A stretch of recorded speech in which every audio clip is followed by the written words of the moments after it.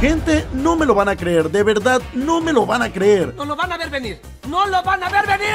Aquí les traigo Crash Bandicoot Rifted, una joya más que la podemos encontrar aquí en Dreams. Así que agradezco a este suscriptor por haberme recomendado esta joya de videojuego. ¡Ese asqueroso hombre es un héroe! En este juego tendremos niveles tipo flashback, niveles totalmente originales y una persecución de un dragón. O sea, dime, ¿necesitas algo más? Esto no me gusta. Así que pasemos a descubrir juntos esta joya llamada Crash Bandicoot Rifted. Así que sin más, ¡Vamos allá! Bienvenidos sean a Crash Bandicoot Rifted, un juegazo de Crash Bandicoot creado aquí en Dreams. A ver gente, no esperen aquí un juego AAA. Para los juegos que hay en Dream es un gran juego, el problema es que no está terminado, pero lo que tiene es suficiente para enamorar a cualquier fan del género de plataformas Aquí tenemos lo que es un detalle nada más, donde podemos ver el progreso que llevamos en el juego. Y aquí tenemos una especie de nivel flashback. Es únicamente uno, pero muy bueno. Y aquí tenemos tres niveles. Y aquí podemos desbloquear uno más, pero tenemos que pasar primero los tres niveles. Pero quiero mostrarles primero el nivel flashback, que la verdad gente es muy, pero muy bueno. Los que me conocen a mí ya sabrán que una de mis partes favoritas en Crash Bandicoot 4 son los niveles de flashback y obviamente esto está inspirado o más bien casi calcado en lo que son los niveles en los niveles flashback. De hecho, cuando recién pones el juego, dice que está inspirado en la obra de de Toy for Bob y obviamente también en las obras de Naughty Dog que son los padres de Crash Bandicoot. Pero la verdad, gente, que el nivel le quedó muy bien ustedes podrían decir crítico, eso se ve sin dificultad, muchacho, por favor, ponte a jugar un juego de verdad. Pues ya digo yo que sí tiene dificultad, gente. Y la dificultad tal vez no está en el acomodo de las cajas. La dificultad está en la misma jugabilidad, en los errores que tiene el juego. Por ejemplo, a veces tú saltas de caja en caja y se siente muy natural, pero otras veces se siente como si si te estuvieran jalando de la camisa. Obviamente Crash Bandicoot no lleva camisa muchacho, pero no sé, como cuando juegas un deporte como fútbol, que vas corriendo, te agarran de la camisa y sientes que no puedes avanzar más, así se siente. Saltas y como que te regresa un poquito. Y he visto que han salido muchos juegos de Crash Bandicoot aquí en Dream de este tipo. Como que están agarrando, no sé, las mismas mecánicas y nada más hacen los niveles, la verdad no lo sé pero se están sintiendo todos muy similares, pero es así, el nivel en cuanto a detalles, en, bueno, más que detalles, el nivel que le están metiendo a la hora de crear escenarios es mejor que los juegos pasados de Crash Bandicoot en Dreams. Eso sí, no supera todavía al... al no, recuerdo cómo se llamaba, pero era... Uy, uy, lo voy a pasar a primera. Lo voy a pasar a primera. Buena, gente, buena, eh. No, no, estaba una caja. Estaba una caja, gente. No, qué mala suerte. Lo iba a pasar a primera, qué mala suerte. Eh. No puede ser. Pero bueno, gente. Había un juego pasado que lo tengo aquí en el canal, en la sección de Dreams, que se llamaba Trip Sanity, algo así. Ese es el mejor juego de Crash Bandicoot que yo he jugado en Dreams. No sé si ya la nostalgia de que es el primer juego que recuerdo que jugué aquí de... Uy, casi me caigo. De Crash Bandicoot. Pero la verdad que era buenísimo y tenía campaña, ¿eh? Pero estos nuevos juegos de Crash Bandicoot que están creando me gustan bastante porque le están metiendo como mucha imaginación a los niveles, gente buena. Lo tenemos, muchacho. Ahí está. Lástima que es nada más un nivel, gente. Espero metan más porque están muy, muy buenos. Y pues bueno, vamos a ir a este primer nivel. Que la verdad inicia... Podríamos decir que inicia un poquito flojo, pero pero va tomando ritmo, gente. La verdad que está muy, muy bueno. Mira, aquí me siento, no sé, en la misma Japón, muchacho. lo curioso es que nunca he ido a Japón, gente, pero miren, lo único que me voy a quejar de este juego es de este sonido de la notificación de PlayStation 4 que lo pusieron en los tutoriales, gente. Cada que te aparece una indicación ahí de cómo saltar, cómo barrerte o qué botón utilizar, aparece el sonido de la notificación de PlayStation 4 y la verdad que yo las notificaciones los asocio con algo molesto, gente. Como cuando pones una canción muy buena para tu alarma que dices, esta canción me gusta mucho y terminas por odiarla, por escucharla tantas veces, pues eso me pasa a mí con las notificaciones. Pero bueno, no pasa nada, tampoco es algo que vaya a arruinar el juego. El juego a mí me encanta, gente. Uy, escuchen nada más, escuchen nada más esta pieza, gente.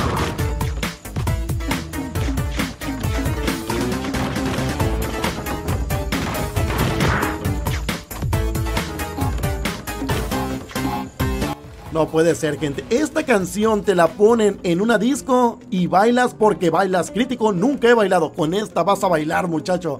Está súper movida y es como una especie de remix, ¿no? Así lo vi yo, gente, pero bueno, vamos a darle, vean nada más. Aquí el nivel empieza a tomar como un poquito más de ritmo. Y ahorita les voy a mostrar algo que tiene el juego que es espectacular y me gustaría que lo pusieran en un juego de... Vean el, el giro.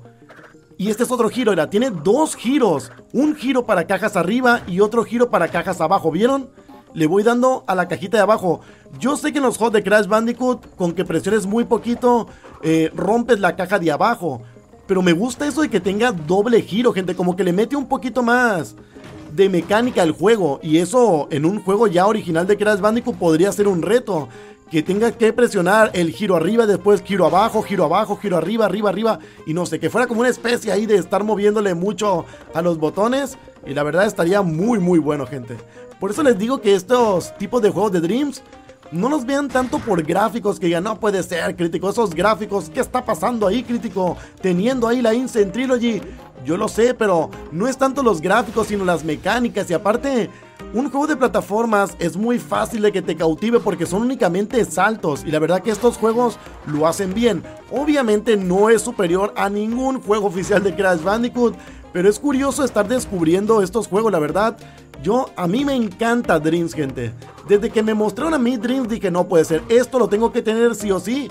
Como también cuando vi Mario Maker, gente. Vi Mario Maker y dije, no, no, no, este lo tengo porque lo tengo, muchacho. Y aparte, yo no sé por qué he dejado de subir Mario Maker aquí al canal si es un juego que me encanta. O bueno, más bien sí sé por qué dejo de subirlo. Porque a veces se me juntan las cosas y como no juego mucho Mario Maker, y no lo juego no porque no me guste, sino por tiempo, gente. Y entonces digo, para andar dando lástima en Mario Maker, pues para qué lo subo. Pero lo voy a subir, gente. Es un juego muy entretenido de ver, pero también muy complicado. Tiene niveles extremadamente complicados que no se dan una idea, gente, de verdad. Si no les gusta Mario Maker o no se ven interesados en él, nada más les digo, vean algunos videos que anden por ahí por internet y van a ver que Mario Maker es una chulada, pero una chulada, gente. Y ahorita que estamos hablando de Mario Maker, de Dreams, que son juegos de crear cosas, les traigo una plática buena. A ver, no puede. Ahí te iba a decir. No, no, casi me caigo. casi me caigo. Iba a esperar a que se quitara Aku Aku para romper la caja y. no sabía que se, que se caía el puente. Y se terminó el nivel, gente. Y quiero contarles una cosa, pero bueno, en lo que vamos pasando estos niveles, te los voy platicando. Muchos piden a gritos una Wumpa League, más contenido para Crash Bandicoot 4 y sí, a todos nos gustaría. Pero yo digo gente, ¿qué pasaría si en lugar de todo eso nos hubieran metido un editor de niveles en Crash Bandicoot 4? Tómala esa, no la veías venir, ¿eh? No la veías venir. ya hablé en un video acerca de eso gente, pero... O sea, sería curioso ver que en lugar de un Wumpa League, en lugar de un Crash Bash, todo lo que nosotros imaginamos que le incluyeran un editor de niveles a Crash Bandicoot 4. Y no hablo de niveles en 3D, no, no, no, no, no, gente. O sea, no pido tanto tampoco. Pido editor de niveles tipo flashback. Eso para mí sería un bombazo, gente. Un bombazo. Porque si tú le das la oportunidad a que los usuarios hagan sus propios niveles, a veces los usuarios suelen ser muy creativos y entonces tendríamos niveles casi infinitos. Digo casi porque obviamente serían finitos, pero tendríamos un juego muy muy largo. El problema, gente, que yo veo aquí, y no digo que no pueda existir un Wumpa League, no estoy criticando a Crash Bandicoot 4, todo lo contrario, pero pienso que la gente no valoró a Crash Bandicoot 4. Y, y cuando digo gente, no me refiero a todos. Obviamente que hay gente que lo valoró. Pero hay gente que sigue pensando que Crash Bandicoot 4 es un juego normal y le siguen viendo muchas, como muchas cosas malas y no es así. Van a pasar los años y después se van a dar cuenta que Crash Bandicoot 4 es el mejor juego de Crash Bandicoot que existe hasta el momento, por lo menos en cuanto a mi opinión. Por ejemplo, Ratchet Clan es un juego que jamás se ha ido pero ha regresado con Rifapar muy potente. Pero no deja de ser un Ratchet Clan. Tiene el tema de las dimensiones y ese tipo de cosas. Pero sigue siendo un Ratchet Clan. Y Crash Bandicoot 4, gente, es a la vez es Crash, el mismo Crash Bandicoot de siempre. pero a la vez es un juego también totalmente distinto gracias a las máscaras. De todos los juegos que han regresado del pasado, Crash Bandicoot 4 yo creo que es el más exitoso y lo he escuchado también con muchas personas que no son amantes de Crash Bandicoot y cuando les dicen Crash Bandicoot nada más sonríen y dicen juegazo, juegazo. Y es que Crash Bandicoot 4 también es muy superior a muchísimos juegos de Mario, gente, que eso en el pasado se veía un poco casi imposible, gente, que, que Naughty dio mucha guerra con la primera trilogía y para muchos los primeros tres juegos de Crash Bandicoot son mejores que muchos juegos de Mario. Pero por ejemplo, Crash Bandicoot 4, si tú lo comparas tal vez, no sé, gente, es que son malas las comparaciones. Es que por ejemplo, Crash Bandicoot 4 no se podría comparar con un Mario Odyssey. Pero Crash Bandicoot 4 sí podría compararse tal vez, no sé, vamos a ponerle con un Mario 3D World que no son iguales. Y a mí Mario 3D World me gusta mucho, pero el reto que tiene Crash Bandicoot 4 se me hace como que más más divertido, gente. No, es que también Mario 3D World, es que Mario 3D World es como para jugarlo tranquilo, sonriendo, pasarla bien. Y Crash Bandicoot 4 es un gran reto, pero un reto divertido. Y la verdad, a mí no es que me moleste, no me enoja, porque pues yo no soy el que está ganando vendiendo estos juegos. Pero sí da un poquito de cosa ver cómo hay gente que no valora Crash Bandicoot 4 y la gente se ha olvidado por completo de él. Y cuando digo gente, no me refiero al 100%, me refiero a mucha gente. Porque uno se da cuenta, ves, ves la trilogía y aún la trilogía causa interés. Pero Crash Bandicoot 4 sí causa interés, pero ya en muy pocas personas. Para ellos fue un juego que ya salió, ya pasó y ya está. Y no los culpo, gente, la verdad. Es como, por ejemplo, si sale un nuevo Red Dead Redemption, lo voy a jugar, lo voy a terminar y ya está. Tal vez ya no vuelva, ya no vuelva a él. Entonces, esto pasa también con Crash Bandicoot 4. Pero muchos que son muy fan o dicen ser muy fan de Crash Bandicoot, con Crash Bandicoot 4 se quejaron mucho solo porque es difícil. Solo porque es difícil. Cuando eso es lo más divertido que tiene el juego. O sea, yo entiendo que en su momento dices, no puede ser, qué juego tan desesperante. Pero eso es la esencia de los juegos de Crash Bandicoot y Crash Bandicoot 4 lo hizo genial. En algunos momentos se puede sentir un poco exagerado, pero bueno, las cosas fáciles, las cosas fáciles la verdad no se valoran. La verdad, las cosas como son, muchacho. Pero bueno, tampoco estoy diciendo que Crash Bandicoot 4 sea un juego de 10. Casi, casi, casi para mí es un juego de 10, pero tiene algunos detalles, detalles que podrían ser absurdos, como el tema de la historia que se me hizo una exageración pecar de, de la nostalgia, de agarrarte de la nostalgia para pegar, pero bueno, ¿qué juego también no lo hace? Pero el tema de machacar los botones, ahí sí se me hizo una exageración, porque son niveles largos, si fueran niveles cortos dices, ok, tiene un poco de sentido, pero al ser niveles largos y estar machaque y machaque el botón, la verdad es un poco, no lo odio, la verdad, es una muy buena mecánica, no digo que no, es una buena mecánica.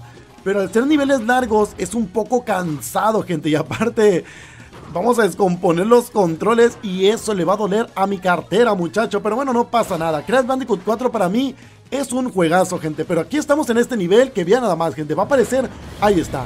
Ya apareció el dragón. ¿Qué más quieres de este juego? ¿Qué más quieres de este nivel? Aparece un dragón, muchacho. Ya valió la compra. Gente, si les gustan mucho los juegos de plataforma, si les gustan mucho los juegos de Crash Bandicoot de este tipo, cómprense Dreams, gente. La verdad que es un juego muy bueno y si son creativos, van a poder hacer sus propios juegos. ¿Quién no quisiera hacer su propio juego? Y si lo haces, pásamelo muchacho, pásamelo que lo quiero jugar y subir al canal. Gente, ¿qué piensan ustedes? Aquí les traigo otro tema un poco salciante. Bueno, no es salciante, gente.